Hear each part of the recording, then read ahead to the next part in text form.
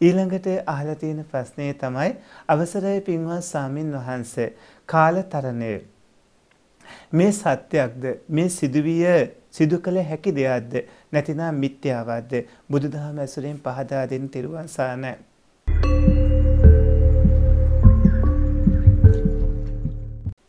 පින්වත්නි වර්තමානයේ ඉන්න කෙනෙක්ට පුළුවන් ඉද්ධිවිද ඥාන, දිබ්බසෝත ඥාන, පුබ්බේ නිවාසානුස්මති ඥාන, චතුපපාත ඥාන, පාචිත්‍ය විචාන ඥානයේ දීප චක්කු ඥාන ආදිය උපදවා ගන්න අභිඥා ඵලයෙන්. අභිඥා බලයෙන් ඒක උපදවා ගත්තොත් අතීතයේ දේවල් අරමුණු කරලා බලන්න පුළුවන් වෙච්ච දේවල්, උණු දේවල්, නම් ගම් විස්තර හරියට චිත්‍රපටයක් ටෙලි නාට්‍යයක් බලනවා වගේ. අනාගතයේ දේවලුත් බලන්න පුළුවන්. සුමේද තාපස්තුමා මල්කුඩ උඩේ ඉඳලා ඒ මඩගෝරුවට ඉහපු මල්කුඩ උඩේ ඉඳලා අනාගතේ බැලුවා වගේ.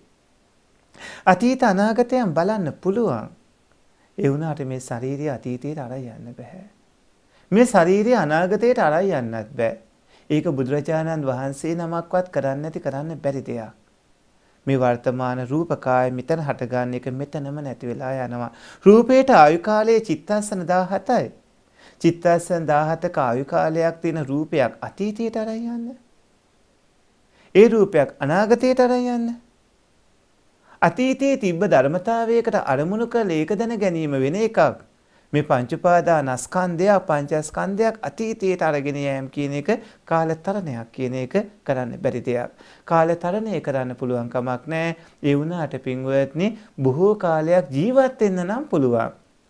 සතර ඉද්ධිපාද වැඩූතුමන්ට බොහෝ කල් ජීවත් වෙන්න පුළුවන් අවුරුදු ගණනාවක්.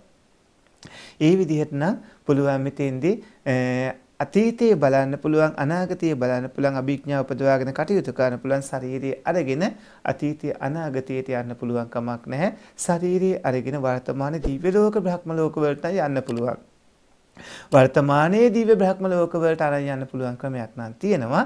ඒ වුණාට අතීතයට අරගෙන යන කාලතරණය කරන්න මේ ශාරීරිය අරගෙන බෑ.